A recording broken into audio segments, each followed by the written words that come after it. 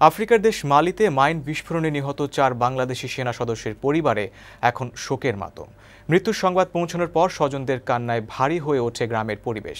Mine বিস্ফোরণের এই ঘটনায় আহত হন আরও চারজন। প্রতিনিধির তথ্যচিত্র নিয়ে দেখুন ডেস্ক রিপোর্ট। পশ্চিম আফ্রিকার দেশ মালিতে স্থানীয় সময় বুধবার মাঝরাতে মাইন বিস্ফোরণে নিহত হন জাতিসংঘ শান্তিরক্ষা বাহিনীর বাংলাদেশি সেনা সদস্য আবুল কালাম। মৃত্যুর খবর পিরোজপুরের কলার দোয়ানিয়ায় নিজ গ্রামে পৌঁছালে এলাকায় নেমে আসে শোকের ছায়া। স্বজনদের কান্নায় ভারী হয়ে ওঠে চারপাশ।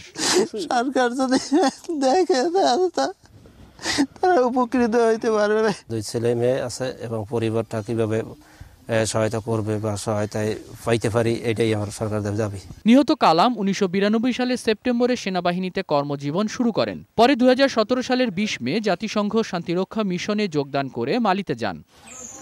মাইন বিস্ফোরণে নিহত হন আরও তিনজন। এর মধ্যে ল্যান্স কর্পোরাল আক্তারের বাড়ি ময়মনসিংহে, সৈনিক রায়হানের বাড়ি পাবনা ও সৈনিক জামালের বাড়ি চাঁপাইনবাবগঞ্জে। বুধবার মালির মোপ্তি এলাকার বনি ও দোয়েঞ্জা শহরের সংযোগ সড়ক দিয়ে শান্তি রক্ষাকারীরা গাড়িতে করে যাওয়ার সময় বিস্ফোরণের ওই ঘটনা ঘটে। এতে আরও চারজন আহত হন। ডেস্ক রিপোর্ট বৈশাখী সংবাদ।